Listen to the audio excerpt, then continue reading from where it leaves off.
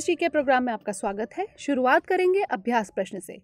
हाल ही में किस क्षेत्र में जागरूकता फैलाने के लिए सक्षम अभियान शुरू किया गया? अंतरिक्ष ग्रीन एवं क्लीन एनर्जी हॉकी या फिर कला? इसका सही जवाब है ऑप्शन बी ग्रीन एवं क्लीन एनर्जी पेट्रोलियम संरक्षण अनुसंधान एसोसिएशन द्वारा ग्रीन एवं क्लीन एनर्जी यानी हरित एवं स्वच्छ ऊर्जा के क्षेत्र में जागरूकता फैलाने के लिए सक्षम अभियान शुरू किया गया। महीने भर चलने वाले इस जन जागरूकता अभियान का फोकस स्वच्छ ईंधनों को अपनाने पर रहेगा।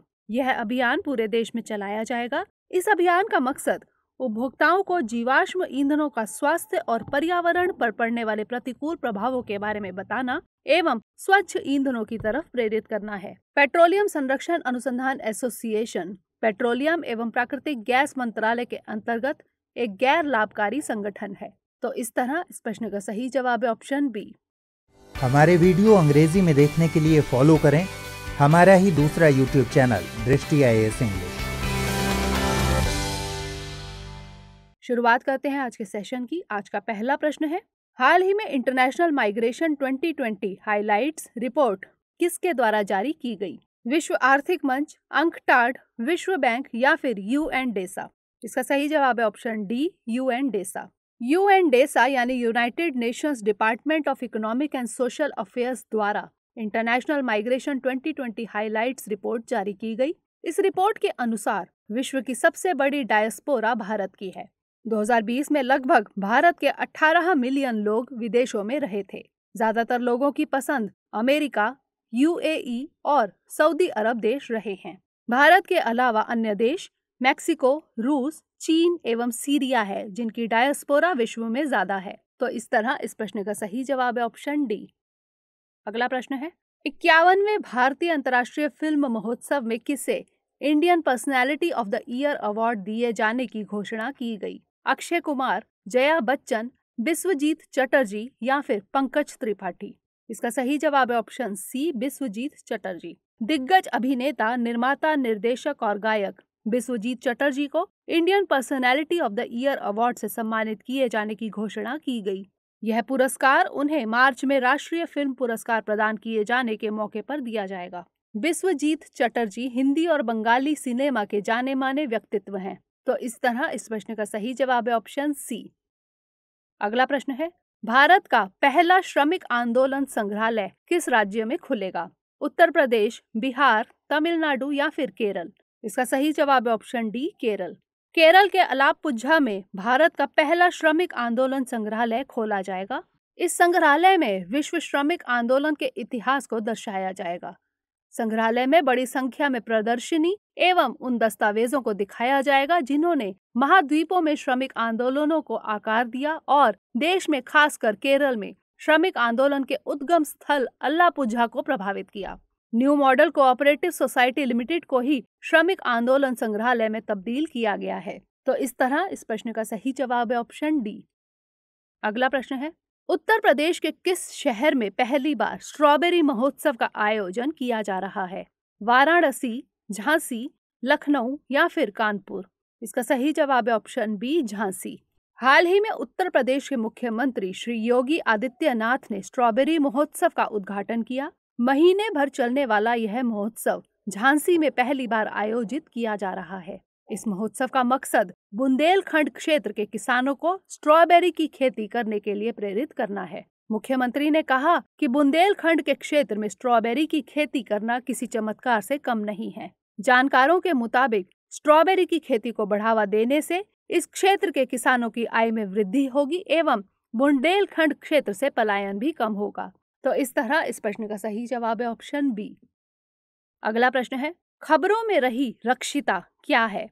जागरूकता अभियान, पक्षी, बाइक एंबुलेंस या फिर दवा? इसका सही जवाब है ऑप्शन सी, बाइक एंबुलेंस। हाल ही में सीआरपीएफ यानी सेंट्रल रिज़र्व पुलिस फोर्स में कई बाइक एंबुलेंस शामिल किए गए। इस बाइक एंबुलेंस का नाम रक्षिता है। यह एंबुलेंस एनकाउंटर एवं अन्य किसी दुर्घटना के दौरान घायल हुए जवानों को इमरजेंसी में मेडिकल सुविधा उपलब्ध कराएगा। इसका निर्माण सीआरपीएफ एवं डीआरडीओ के संस्थान इन मास यानी Institute of Nuclear Medicine and Allied Sciences द्वारा मिलकर किया गया है। आपको बता दें कि इन मास बायोमेडिकल एवं क्लिनिकल रिसर्च के क्षेत्र में काम करता है। तो इस तरह इस प्रश्न का सही जवाब है ऑप्शन सी। अगला प्रश्न है, बीते दिनों किस राज्य में पौष पर्वन मेले का आयोजन किया गया? अरुणाचल प्रदेश, बिहार, ओडिशा या फिर त्रिपुरा? इसका सही जवाब है ऑप्शन डी त्रिपुरा। त्रिपुरा में तीन दिवसीय पौष पर्वन मेले का आयोजन किया गया। यह राज्य सरकार की पहल है, जिसका आयोजन वेस्ट त्रिपुरा ज़िले के लंकामुरा गाँव में किया गया। पहली बार आयोजित होने वाले इस मेले का उद्देश्य पर्यटन को बढ़ावा देने के साथ साथ राज्य की पारंपरिक कलाओं, शिल्पों और व्यंजनों को पुनर्जीवित करना है। इसके अलावा इस मेले का मकसद ग्रामीण महिलाओं को सशक्त बनाना भी है। इस मेले का आयोजन निम्नलिखित संगठनों के साझा प्रयास द्वारा किया गया। Sanskar Bharati, Eastern Zonal Cultural Centre और त्रिपुरा सरकार के Information and Cultural Affairs Department. Sanskar Bharati एक ऐसा संगठन है जो भारतीय कला एवं संस्कृति को प्रमोट करने की दिशा में काम करता है। तो इस तरह इस प्रश्न का सही जवाब है ऑप्शन डी। अगला प्रश्न है, राज्य स्तरीय कैंपा ने हाल ही में किस राज्य में वनीकरण के लिए 903 करोड़ रुपए की वार्षिक कार्य योजना को मंजूरी दी है? उत्तराखंड, ओडिशा, पंजाब या फिर राजस्थान? इसका सही जवाब है ऑप्शन बी, ओडिशा। हाल ही में कैंपा ने ओडिशा में वनीकरण के लिए 903 करोड़ रुपए की 2021-22 की वार्षिक कार्य योजना को मंजूरी दी है। इस कार्य योजना की प्रमुख गतिविधियों में शामिल है block plantation, assisted natural regeneration, bald hill plantation, बाँस के जंगलों का रीजनरेशन, बीते साल के प्लांटेशन की मेंटेनेंस, बैम्बू कल्चर, वन्यजीव प्रबंधन और बुनियादी ढांचा विकास इत्यादि। यहाँ कैंपा का पूरा नाम क्षतिपूर्वक वनीकरण कोष एवं क्षतिपूरक वनीकरण कोष प्रबंधन एवं योजना प्राधिकरण, यानी compensatory afforestation fund and compensatory afforestation fund management and planning authority. 2001 में सर्वोच्च न्यायालय ने कैंपा की स्थापना को मंजूरी दी थी। तो इस तरह इस प्रश्न का सही जवाब है ऑप्शन बी। अगला प्रश्न है नेपाली पर्वतारोहियों ने पहली बार सर्दियों के मौसम में केटू पर्वत फतह कर विश्व रिकॉर्ड कायम किया है। केटू पर्वत निम्नलिखित में से किस पर्वत श्रृंखला का अंग है? काराकोरम, शिवालिक, पीर पंजाल या फिर लद्दाख? इसका सही जवाब है ऑप्शन ए, काराकोरम। नेपाल के दस पर्वतारोहियों की एक टीम ने हाल ही में केटू पर्वत पर फतह करने में कामयाबी हासिल की है। ऐसा पहली बार है जब सर्दी के मौसम में इस पर्वत पर फतेह हासिल की गई। बता दें कि केटू दुनिया का दूसरा सबसे ऊँचा पर्वत है और इसकी ऊंचाई 8,611 मीटर है। यह पर्वत काराकोरम रेंज के गिलगित बाल्टिस्तान साइड पर स्थित है। तो इस तरह इस प्रश्न का सही जवाब है ऑप्शन ए। अगला प्रश्न है बिहार के राज्यपाल फागू चौहान ने हाल ही में बिहार के पाँच स्वतंत्रता सेनानियों की प्रतिमाओं का लोकार्पण किया है। ये प्रतिमाएँ कहाँ स्थापित की गई हैं? पश्चिमी चंपारण, सासाराम, बिहार शरीफ या फिर बख्तियारपुर? इसका सही जवाब ऑप्शन डी, बख्तियारपुर। बिहार के राज्यपाल फागू चौहान ने बिहार के बख्तियारपुर में पाँच स्वतंत्रता सेनानियों की प्रतिमाओं का लोकार्पण किया है। इन पाँच स्वतंत्रता सेनानियों के नाम है स्वर्गीय पंडित शील भद्र याजी शहीद मोगल सिंह, शहीद नाथून सिंह यादव, स्वर्गीय डूमर सिंह और स्वर्गीय कविराज राम लखन सिंह। स्वर्गीय पंडित शील भद्र याजी एक प्रमुख स्वतंत्रता सेनानी, प्रथम बिहार विधानसभा के सदस्य और राज्यसभा के पूर्व सांसद थे। इन्होंने असहयोग आंदोलन में अहम भूमिका निभाई थी और उन्नीस से 1941 तक नेताजी सुभाष चंद्र बोस के निकटतम सहयोगियों में से एक थे। स्वर्गीय कविराज राम लखन सिंह ने मात्र 19 साल की अवस्था में उन्नीस सौ उनतीस में साइमन कमीशन के भारत आने के देश व्यापी विद्रोह में हिस्सा लिया और इन्होंने नमक सत्याग्रह आंदोलन में भी हिस्सा लिया था। शहीद मोगल सिंह 1942 के भारत छोड़ो आंदोलन के अप्रतिम योद्धा थे। शहीद नाथून सिंह यादव बख्तियारपुर की ज़मीन से जुड़े अग्रणी स्वतंत्रता सेनानी थे।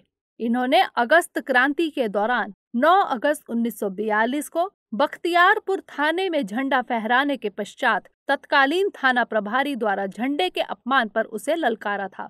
1942 में जब भारत छोड़ो आंदोलन शुरू हुआ था, तब बख्तियारपुर में क्रांति का बिगुल बजाने वालों में स्वर्गीय डूमर सिंह प्रमुख थे। तो इस तरह इस प्रश्न का सही जवाब है ऑप्शन डी। अगला प्रश्न है। जूलॉजिकल सर्वे ऑफ़ इंडिया यानी जेड एस आई के एक अध्ययन के मुताबिक भारत में रेड पांडा की निम्नलिखित में से कौन सी प्रजाति पाई जाती है? Himalayan red panda, Chinese red panda, उपर्युक्त दोनों या फिर दोनों में से कोई नहीं? इसका सही जवाब है ऑप्शन सी, उपर्युक्त दोनों। जूलॉजिकल सर्वे ऑफ़ इंडिया ने रेड पांडा को लेकर एक अध्ययन जारी किया है। ZSI के मुताबिक भारत में रेड पांडा की दो प्रजातियाँ पाई जाती हैं, हिमालयन रेड पांडा और Chinese red panda. Arunachal Pradesh में सियांग नदी रेड पांडा को इन दोनों फाइलोजेनेटिक प्रजातियों में विभाजित करती है। रेड पांडा भारत, नेपाल, भूटान और म्यांमार के उत्तरी पहाड़ों और दक्षिणी चीन के जंगलों में पाया जाने वाला एक छोटा आर्बोरियल मैमल है। यहाँ आर्बोरियल मैमल से तात्पर्य ऐसे स्तनपाइयों से है जो वृक्षों पर रहते हैं।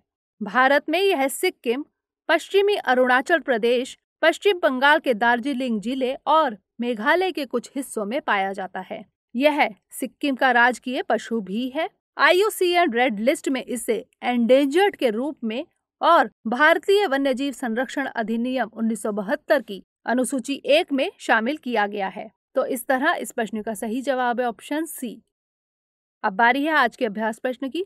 हाल ही में फ्लिंट वाटर क्राइसिस खबरों में रहा। इस संकट का संबंध किस देश से है? रूस, अमेरिका, फ्रांस या फिर इटली? इसका उत्तर हमें कमेंट सेक्शन में ज़रूर भेजिएगा। अगले सेशन में नए प्रश्नों के साथ मिलेंगे। तब तक के लिए धन्यवाद।